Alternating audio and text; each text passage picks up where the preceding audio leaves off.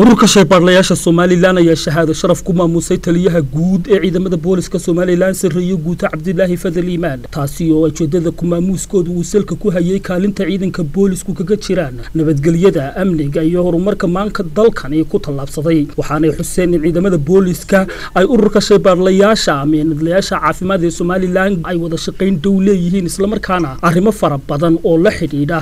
Dhinaca dhiigaga ciidanka ay kala shaqeeyaan islamarkaana sii ballaadhin doonaan wada shaqayntooda. Gudoomiyaha ururka shaybaadlayaasha somalilan maxamed yuusuf nuur ayaa ugu horeyn hadal kooban oo ugu mahadnaqaya taliyaha guud ciidamada booliska somalilan sarreeye guuto cabdilaahi fadal iimaan halkaasi ka sheegay. Runtii waxaa lagu jiraa waqti xasaasiya.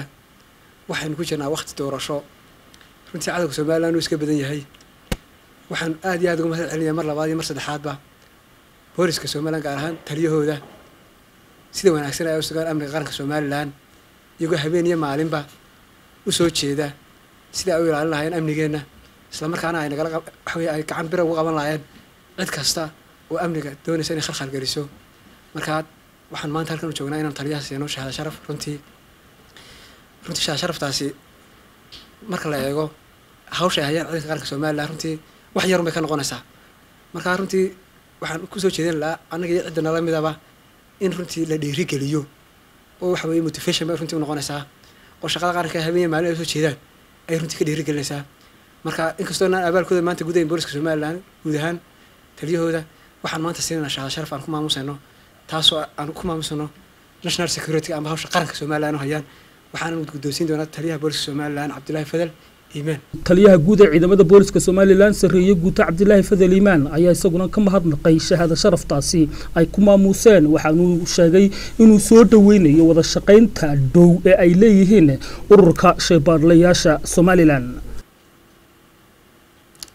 bismi illahi raxmaan raxiim marka hore ilaahay baa mahadle oo ilaahayga ayaan u mahad celinayaa marka labaad waxaan u mahad celinayaa dhallinyaradan guddoomiyahooda ka socda ururka shaybaadhada somalilan ee xafiiska noogu yimid ee hawsha ciidanka boliiska jumhuuriyadda somalilan darteed shahaadada noogu keenay naguna guddoonsiiyey ayaan uga mahad celinayaa ciidanka boliiska waa naftood horayaal waxaan soo dhaweynayaa arrimahay dhallinyaradan mutacalimiinta ee dhakhaatiirtoo badan ay noola yimaadeen.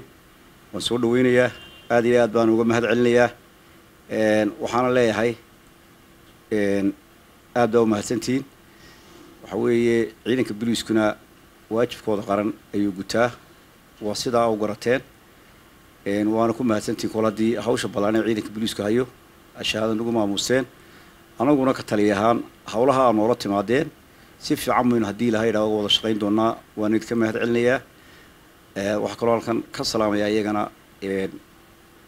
dhallinyaradan iyo saraakiishan iyo t v-ga qaranka ila joogay iyo laacadda raadiyo hargeysa